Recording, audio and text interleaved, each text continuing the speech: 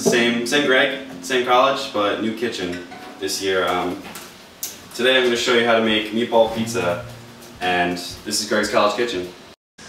Okay, so what we have here is a little under a pound of ground pork, um, a little under a pound of ground beef. Um, you could use a mixture of beef, pork, and veal, but what I have here is pork and beef, or just beef, whatever you want. Um, and then I have an onion that I just diced, mixed in here. Uh, I'm going to add salt and pepper, season. And then lastly we just need breadcrumbs. I'm using panko, but you could use any kind of breadcrumb, seasoned or unseasoned, whatever you like. Panko's nice because it's just crunchier, I think. Some of that, and then make sure to spill it everywhere. Crack an egg. And then just gonna work this all together. Because the egg helps to uh, bind the meatballs, which are about to form after this.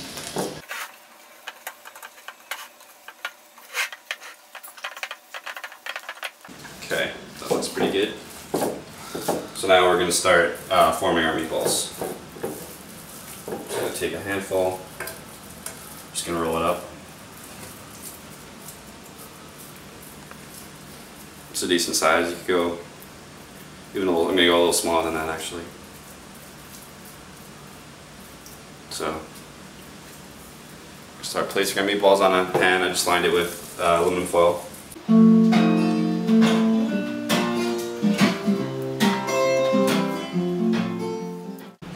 Okay, now I've formed my meatballs. Um, as you can see, I only used about half of the ground meat I had. Um, obviously, this recipe doesn't need any specific amount of meatballs. Just make however many you can. Uh, I'm going to put this in the oven now.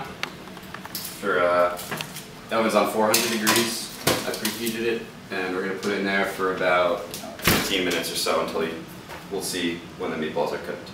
Okay, now we're just going to prepare a simple tomato sauce. Um, I'm starting with some garlic that I just diced up, um, a little olive oil. Get that going. Let's just start cooking. I'm going to add crushed tomatoes.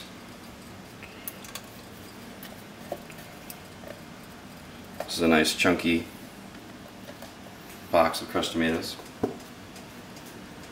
Uh, and yeah, while our meatballs are finishing up in the oven, uh, we're just going to get this sauce going. Okay, it's been about 15 minutes, so we're going to take out our meatballs. Wow. They're looking good. Out. Now we're gonna add them to our sauce, which is cooking away. It's hot, so just be careful. Ooh.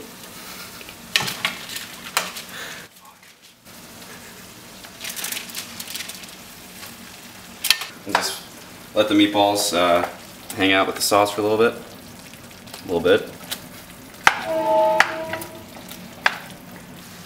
Um, now we're just going to let these flavors develop for a few minutes. I'm going to add salt and pepper again.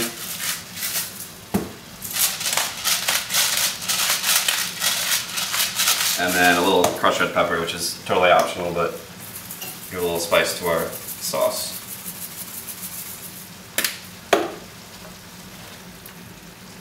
Okay, now we're going to start the pizza aspect of the meatball pizza.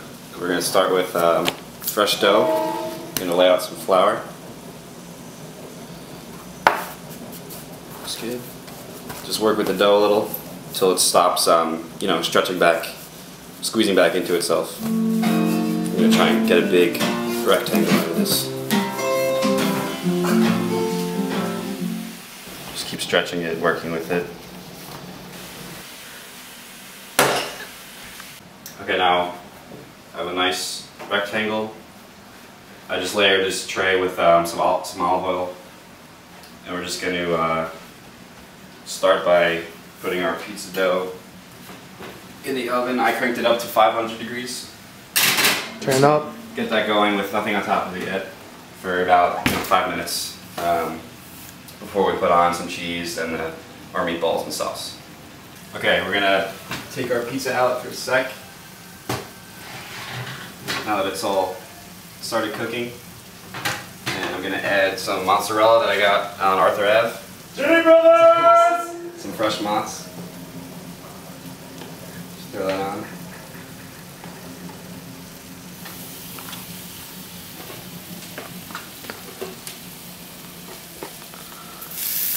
Plenty of cheese. And then I'm just gonna drizzle a little olive oil.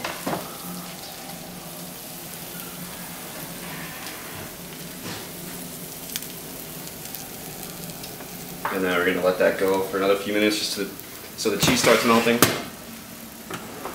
And then finally we'll add our meatballs. Okay, so I just took out our pizza, all the cheese is melted. Now I'm just gonna start uh, breaking apart the meatballs just so it's easier to put on top of the pizza. So you can still leave them in uh, pretty big pieces, but just kind of mash them up with the sauce.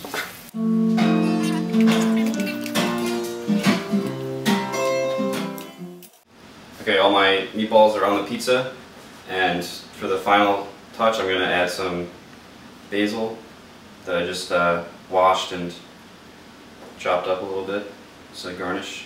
And then I have a, a dry cheese, it's a belladonna, I believe it's called, prima donna. But you could use any any dry cheese like Parmesan or Romano. So I'm just gonna grate that. And uh, yeah, this is a delicious uh, dish for any kind of snack or a party. Um, really highlights the fresh ingredients, the fresh mozz and the fresh basil, and cooking the meatballs in the sauce really adds a lot of flavor. Um, so yeah, I'll see you next time on Greg's College Kitchen. Okay.